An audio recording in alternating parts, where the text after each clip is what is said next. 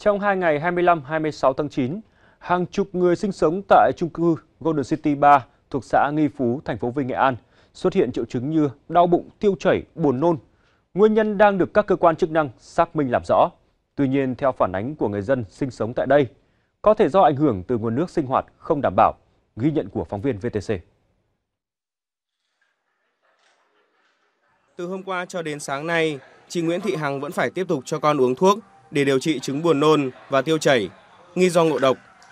Ngoài con nhỏ thì chồng chị Hằng cũng xuất hiện triệu chứng tương tự. Hiện chưa rõ nguyên nhân, nhưng theo chị Hằng cho biết, trước đó nguồn nước máy tại tòa nhà chung cư Golden City 3, gia đình chị đang sử dụng xuất hiện màu vàng và mùi hôi khó chịu.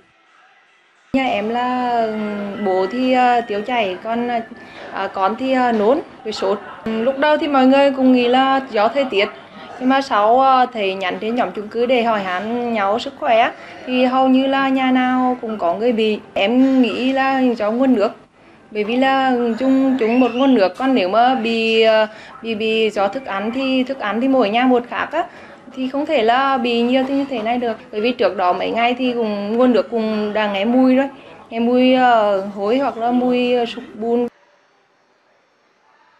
Theo phản ánh của nhiều hộ dân cách đây ít hôm đặc biệt sau đợt thành phố Vinh bị ngập nước do mưa lớn nguồn nước sử dụng tại các gia đình này có màu vàng mùi hôi mặc dù trong quá trình sử dụng nguồn nước để ăn uống họ đều đun sôi ăn chín nhưng vẫn bị ngộ độc điều đáng nói Mặc dù sự việc đã xảy ra hai ngày nay, nhưng cho đến hôm nay, sau khi phóng viên đến xác nhận thông tin với Trung tâm Y tế thành phố Vinh, thì đơn vị này mới tiến hành làm việc, lấy mẫu nước để đi xét nghiệm.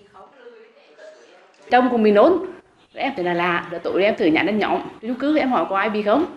Thì một loạt người nói đó, rồi xong như nhà em dừng lại việc uống nước, là mua nước khoảng nóng trái luôn để uống xem. Rồi thì từ cái đêm thì là cháu bạn ấy sẽ cắt cắt nôn bạn hai bạn nhỏ cắt nôn luôn.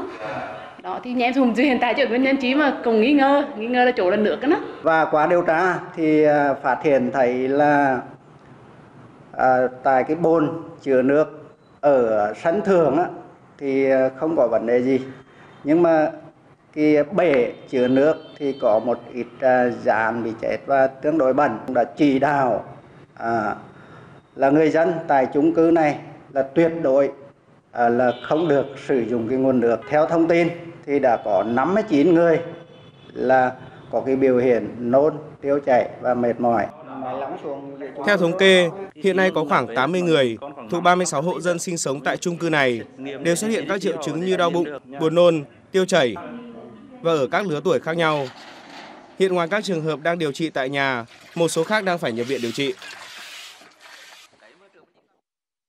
Sau bão số 3, nhiều vùng biển ở Quảng Ninh như Vân Đồn, Cẩm Phả, Hạ Long, Quảng Yên xuất hiện lượng rác rất lớn trôi giạt trên mặt nước và đang đe dọa di sản thiên nhiên thế giới Vịnh Hạ Long. Ban Quản lý Vịnh Hạ Long Quảng Ninh cho biết, đơn vị đang quyết tâm và đặt mục tiêu trong vòng một tháng sẽ dọn xong lượng rác thải trôi giạt trên vịnh sau bão Yagi. Hưởng ứng chiến dịch cao điểm 7 ngày, à, khắc phục hậu quả cơn bão số 3 của Thành ủy Hạ Long, ngay sau khi bão tan, lãnh đạo Ban Quản lý Vịnh Hạ Long đã chỉ đạo các cán bộ nhân viên tại các điểm đón khách chủ động thực hiện việc dọn dẹp, thu gom rác tại những khu vực, vị trí các lối lên xuống, cửa hang động. Tuy nhiên, để nhanh chóng trả lại cảnh quan trên Vịnh Hạ Long, Ban Quản lý Vịnh Hạ Long đã tổ chức đợt cao điểm gia quân, thu gom rác thải trên vịnh một cách toàn diện, huy động sự tham gia của đông đảo các đơn vị địa phương, lực lượng đóng quân trên địa bàn. Chỉ sau 3 ngày thực hiện chiến dịch làm sạch Vịnh Hạ Long, từ ngày 15 đến 17 tháng 9, các đơn vị đã thu gom gần 70 bè tre và gần 300 mét khối rác thải các loại như cành, lá cây, phao xốp, rác thải sinh hoạt.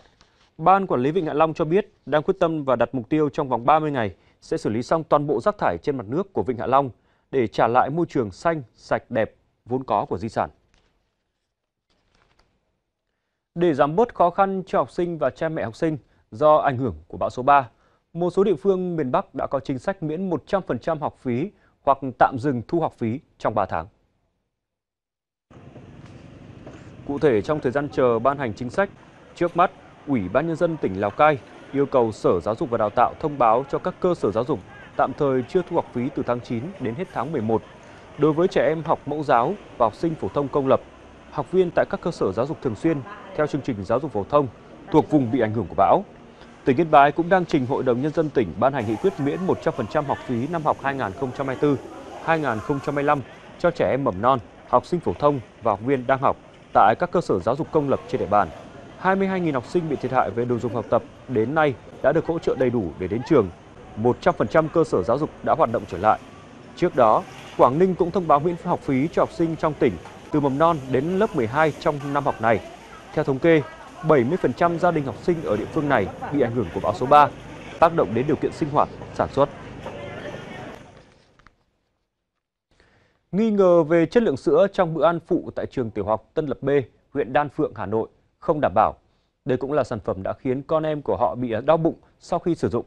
Một số phụ huynh có con theo học tại trường đã đưa thông tin lên các trang mạng xã hội với tâm trạng hết sức hoang mang, lo lắng.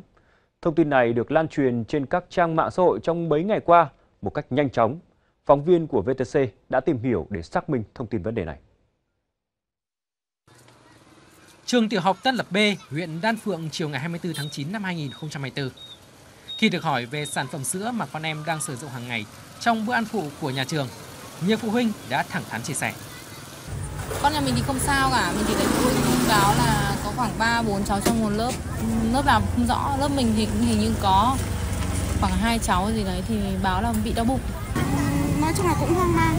Nói chung là cũng lo lắng vì mình cũng thực sự là cái chất lượng sữa đấy thì mình không biết như thế nào và cái cái cái cái loại sữa thì mới là mình bọn chị thì cũng cũng nói chung là cũng nghe ngóng và và và tham khảo thôi. Thấy con uống về không không kêu gì.